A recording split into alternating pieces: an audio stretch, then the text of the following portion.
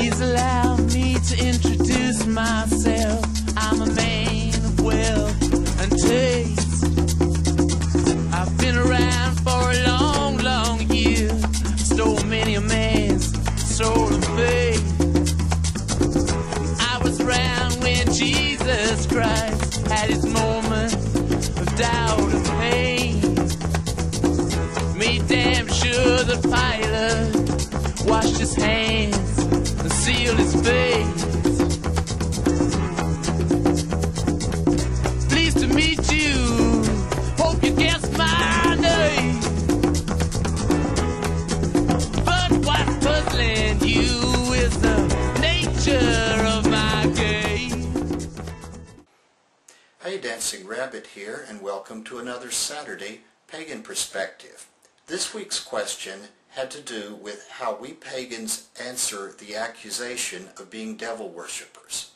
It's been a long time since I've been accused of worshiping the devil, but when I was, my answer basically was to explain that I don't believe that a being of total evil called the devil, Satan, Lucifer exists, and so I can't possibly be worshiping him. Very much like an atheist who doesn't believe that the Christian God exists could possibly be worshiping God in some way.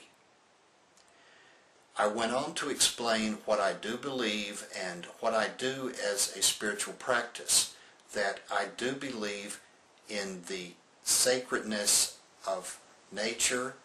I respect nature, the natural world. I celebrate the cycles of the seasons. My basic ethic is, and it harm none, do as you will. So a person who basically strives to do as little harm as possible and as much good as possible, how could they possibly be some evil devil worshiper? Since the person that I was talking with was a fundamentalist Christian, whose basic belief is that you, if you aren't for us, you're against us. If you don't believe in Jesus Christ as your Lord and Savior, then whatever spiritual beliefs you have, whatever spiritual practices you practice, must be from the devil. Not being from God, got to be from the devil. So I didn't convince them. I didn't change their mind in the least. I think that the sort of response you give to the person really depends on your relationship to them. You would give a completely different response to a beloved family member who was genuinely concerned that you might be losing your soul and burning in hell forever than some total random stranger who's street preaching and confronts you because you're wearing a pentagram. One case you care about the person, the other case you really don't. I try to smile and maybe walk away from confrontational situations. I really hope that I'm able to get to know a person and let them get to know me so that they understand that I'm a real person. I do regular ordinary things. I get up every morning. I go to work. I drive a car. I don't ride a broomstick or something. Would be nice.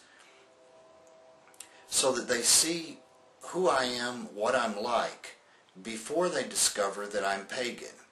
And for most people, unless they are a rather extremely fundamentalist Christian, uh, they may think that my beliefs are a little odd, maybe a little flaky, but they don't accuse me of worshiping the devil because I'm pretty obviously, in their experience, not a bad or evil person.